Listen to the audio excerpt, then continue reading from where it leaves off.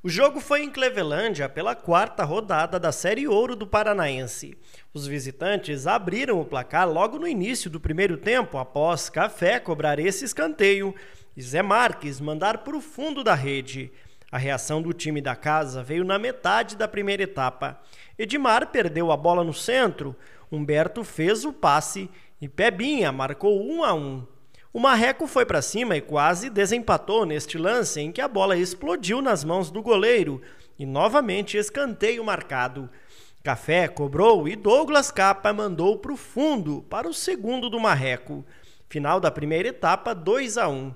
No segundo tempo, uma saída errada do Mariópolis quase custou o terceiro gol dos visitantes, mas Edmar desperdiçou. Em outra assistência de Café, Amadeu chutou de longe e marcou o terceiro do Marreco.